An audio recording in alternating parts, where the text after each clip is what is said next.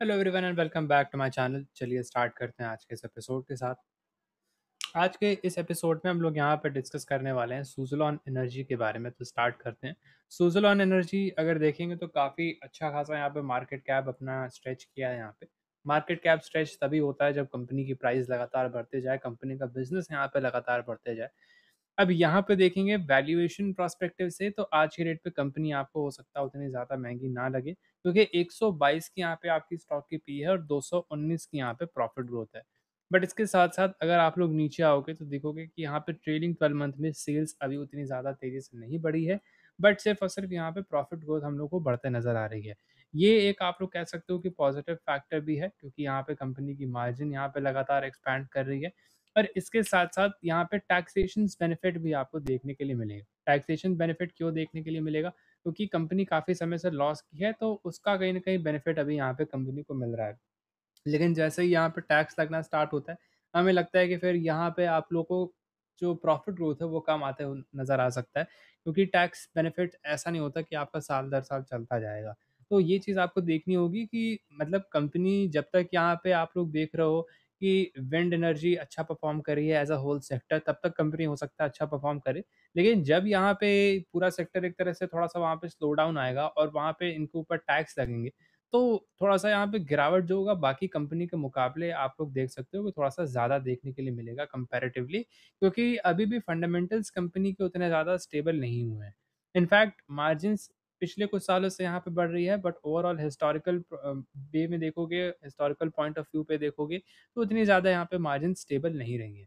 तो हम कहेंगे कि मेरा मतलब ये मानना है कि कंपनी को थोड़ा-सा अगर टेक्निकल वे में अगर देखोगे और उस बेसिस पे ट्रेड लोगे तो थोड़ा-सा ज़्यादा आपके लिए बेनिफिशियल हो सकता है।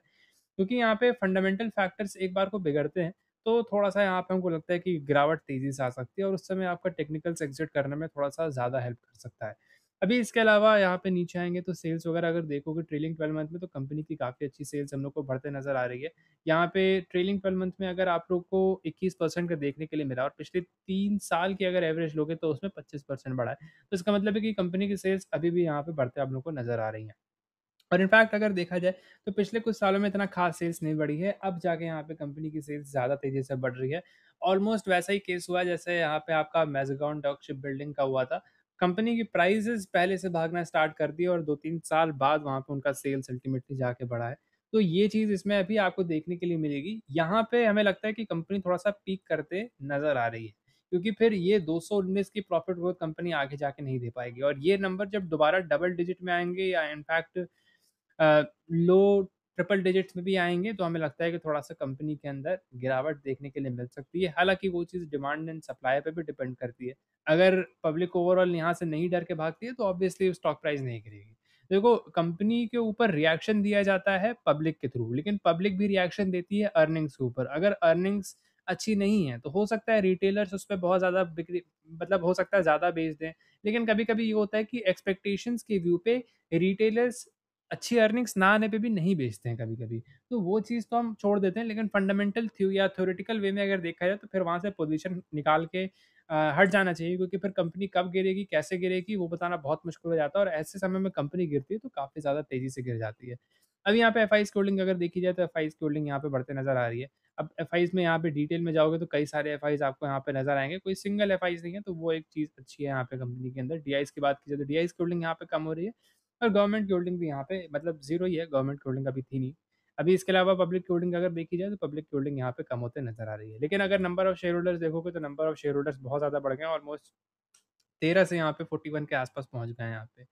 अभी यहाँ पे उसके बाद चार्ट पे देखोगे तो चार्ट पे फिर से यहाँ पे थोड़ा-सा बुलिशनेस नज़र आ रही है। अगर आपको यहाँ पे स्टॉक को उठाना है तो 85.53 के ऊपर यहाँ पे आप लोग स्टॉक को कंसीडर कर सकते हो और ये देख सकते हो कि काफ़ी बड़ा यहाँ पे अप ट्रेंड आपको देखने के लिए मिला है। लेकिन इसके साथ-साथ एक चीज़ थोड़ा-सा ये ज़रूर ऑब्ज़र्व करना कि यहाँ पे फिफ्टी एम से कंपनी थोड़ा-सा गैप बनाई है। तो अगर रिट्रेस करने को आती है 80.33 के नीचे आती है कंपनी तो आपको यहाँ पे फर्दर डाउन साइड पे 73 वाले लेवल्स तक आते कंपनी आपको नज़र आ सकती है।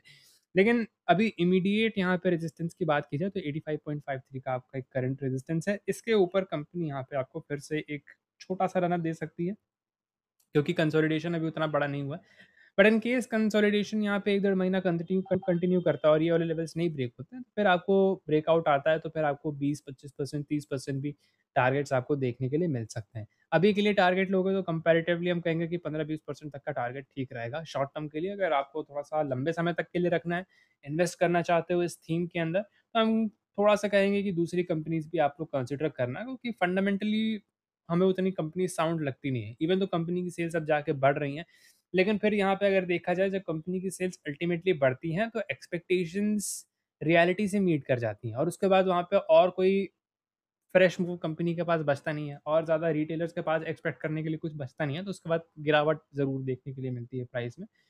और यूजुअली जब ऐसी कंपनीज़ गिरती हैं, जिसके फंडामेंटल्स उतने कभी स्ट्रांग हो नहीं पाते हैं, वो दोबारा ऊपर आने में काफ़ी समय लगा देती है तो हम कहेंगे कि थोड़ा सा सावधानी ज़रूर रखना है यहाँ पे। फ़िलहाल अभी इसी के साथ चलेंगे, मिलेंगे अगले वीडियो में। अगर आपको वीडियो अच्छी लगी तो वीडियो को लाइक करना शेयर करना और साथ ही साथ चैनल को सब्सक्राइब करके बेल आइकन वाली नोटिफिकेशन बटन भी ज़रूर दबाना। Okay bye